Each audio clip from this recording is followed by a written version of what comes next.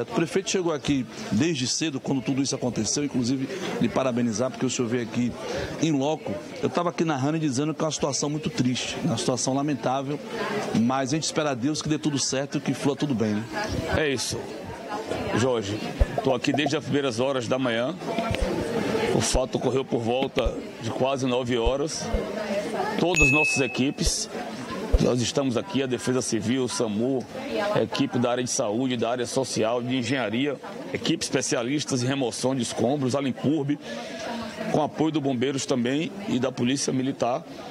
Aqui, por conta das fortes chuvas que ocorrem desde sábado, a região que mais choveu na cidade nesses, nesse período, já são 336 milímetros, três vezes mais do que estava previsto. essa chuva era esperada o mês inteiro? Não, era esperado 111 milímetros. Mês de novembro, tradicionalmente não chove na nossa cidade. Chegou essa frente fria desde sábado, muita chuva. Essa região aqui né, acabou sofrendo mais. Tiveram duas ocorrências, uma na intensidade maior aqui na Horta e outra na intensidade menor lá na Praça da Baleia. Aqui, quatro pessoas foram soterradas, duas retiramos com vida, Heitor e Diana. Já identificamos Paulo também, que já está recebendo é, todo apoio para ser retirado. Tem um outro que estamos tentando localizar, mas infelizmente na rua da Horta, na, na Praça da Baleia, onde foi uma intensidade menor, infelizmente tivemos um óbito. Tinha quatro anos que não perdíamos uma vida para a chuva da nossa cidade mas hoje, infelizmente, nós não conseguimos salvar essa pessoa e acabamos perdendo um irmão tão importante para todos nós. É bom a gente ressaltar que várias sirenes foram acionadas no dia de hoje. Né? Já tínhamos acionado desde ontem. Desde ontem? Desde ontem, porque é, as chuvas estão correndo em toda a cidade. Marechal Rondon está chovendo muito, Arraial do Retiro chovendo muito. Tem, é, você ter ideia, áreas que no mês, no acumulado, já passam de mais de 500 milímetros de chuva. Então, realmente, muita chuva no período que não é esperado. A gente imaginava que já tivesse livre das chuvas esse ano, mas infelizmente é, estamos sofrendo com as fortes chuvas.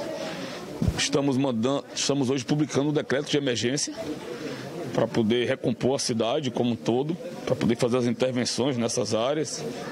Fatalmente está aqui o presidente da Câmara, devemos mandar semana que vem algum projeto para a Câmara para pedir o apoio legislativo para fazer mais intervenções em nossa cidade.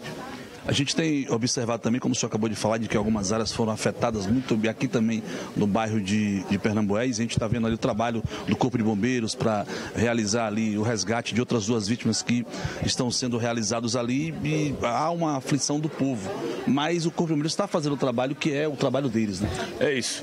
É um trabalho que tem que ser feito manual, porque, é, por exemplo, onde estava retirando Diana, se usasse a marreta, para tentar retirar Paulo com uma intensidade maior poderia afetar é, o apoio que estava sendo dado aqui. Então as buscas vão continuar, nossas equipes vão ficar aqui até o final. É, graças a Deus, dos quatro, os três já foram identificados, os três estão com vidas e estamos na busca do quarto. Estamos trabalhando muito para tentar Todos esses três são da mesma família, estavam no mesmo lugar, estavam no mesmo cômodo? Estavam é, um na sala, e dois no quarto. Né? Pelo menos foi o depoimento da criancinha Heitor, é, Jorge, um, uma cena emocionante. Ele saiu com o gatinho do Hello Kitty abraçado. É uma criança de seis anos, com fé em Deus, vai é, sobreviver para viver ainda intensamente essa vida. Ele já foi resgatado? Já foi resgatado. Nós mobilizamos o, o, o helicóptero do Graé. Não conseguiu pousar aqui no campo Saramandaia por conta dos fios de alta tensão da Chesf. E aí nós fomos lá para o, o, o Detran e de lá já está levando para o hospital do subúrbio. E nesse momento a gente observa aqui, prefeito, que há uma movimentação muito grande, né? Do Corpo de Bombeiros, de equipes do SAMU, da Prefeitura. aqui, também. nossa, tá aí todo mundo do SAMU, é, respirador, maca, é, enfim, todo o apoio. As equipes para retirar os escombros da Limpurb, da área de engenharia, as equipes contratadas, terceirizadas da Prefeitura. Aqui, Jorge, Infelizmente a gente lamenta corre esses incidentes, mas a prefeitura tem uma capacidade de resposta, vai para cima. Não era comum no passado, quando acontecesse cenas como essa, o prefeito vir pessoalmente para liderar a equipe, para orientar, para tomar as providências, tomar decisões. A gente lamenta o que ocorreu. Infelizmente, a cidade tem muitas áreas de risco.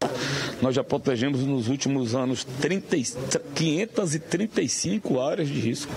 Hoje nós temos um sistema que foi contratado por mais de 4, 4 milhões de reais, que tem todas as encostas mapeadas de Salvador pelo risco de cada uma, qual é a solução de engenharia e qual o valor estimado da obra. Para você ter ideia, essa área aqui ela tinha uma previsão de investimentos de 11 milhões de reais. Uhum.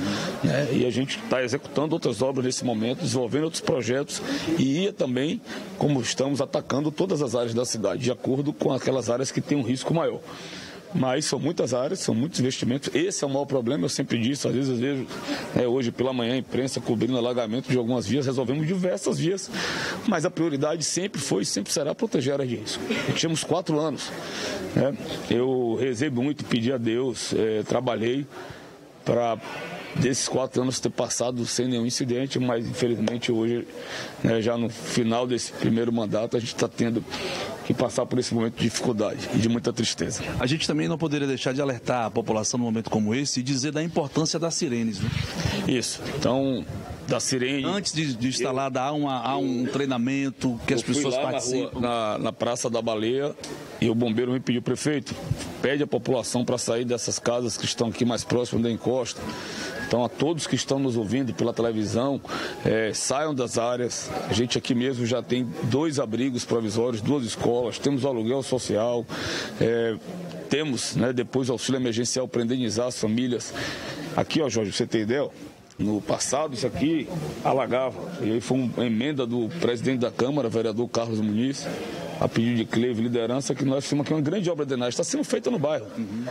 É, metade de Saramandá a gente está resolvendo um problema de alagamento e outra metade nós vamos fazer depois. Então aqui, ó, se não fosse essa obra que a gente realizou, estava tudo alagado. A água aqui entrava na casa das pessoas. Se você ver aqui a marca, ó, tá vendo aqui? Mostra aí. Aqui. Aqui era comum a água aqui invadir a casa das pessoas. E nós resolvemos o problema de alagamento aqui nesta região, tá as moradoras confirmando, né?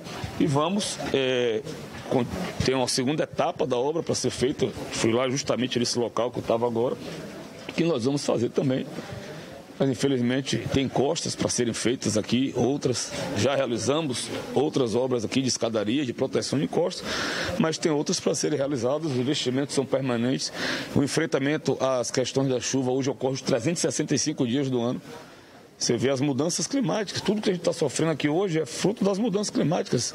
Nunca em novembro a cidade né, é, recebeu tanta chuva como agora. E, e é justamente é, esteve agora a COP né, em, no Azerbaijão e precisa os líderes mundiais assumir o compromisso com a emissão dos gases que provocam o aquecimento global para a gente diminuir a intensidade do som da natureza. Senão, infelizmente, a gente vai ter que todo ano conviver né, com cenas mais graves do que essa. Então, é, vamos seguir trabalhando, investindo. A prioridade é proteger a área de risco, trazendo segurança, tranquilidade às famílias para que elas possam dormir e morar em paz. É, para a gente finalizar aqui, com fé em Deus, essas famílias, as vítimas vão ser retiradas com vida, com fé em Deus. E como é que é o papel da prefeitura a partir de agora, depois que acontece uma situação como essa? Primeiro, cadastrar todo mundo para ir para o aluguel social e sair daqui.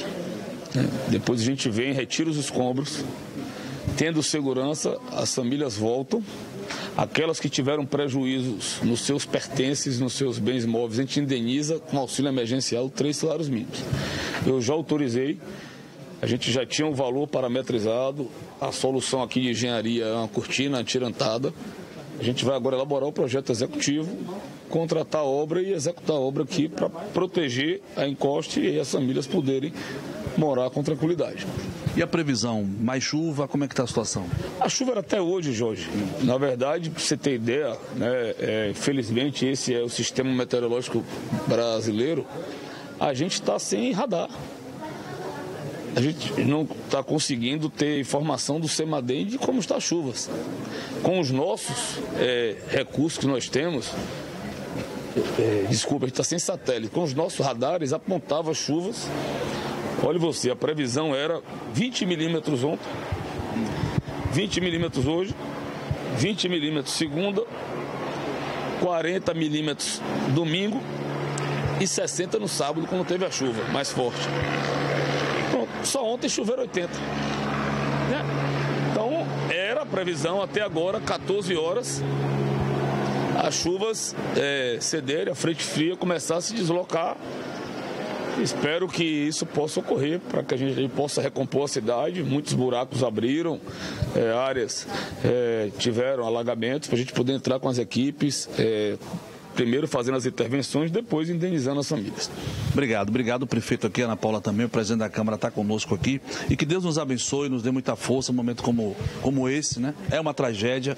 E a gente quer também é, agradecer a toda a população, né? Porque a população não mede esforços, o povo é, chega é, junto é mesmo. Quando a gente chegou aqui logo cedo, que só tinha poucas pessoas da equipe do bombeiro, Estava a comunidade ajudando a retirar os escombros, né? Tinham mais de 20 pessoas ajudando, até correndo, de certa forma, risco, porque, mas, né, o espírito de solidariedade e compaixão ali prevalecendo, e nossas equipes foram chegando, a gente foi retirando eles, eles agora estão ajudando na, é, no envio de, de materiais, das, das, das, das contenções que precisam ser feitas, na retirada dos escombros, mas não estão mais no local por questão de segurança, está lá o bombeiro trabalhando com fé em Deus, né, a gente espera que não tenha mais nenhum óbito. Prefeito, muito obrigado, viu?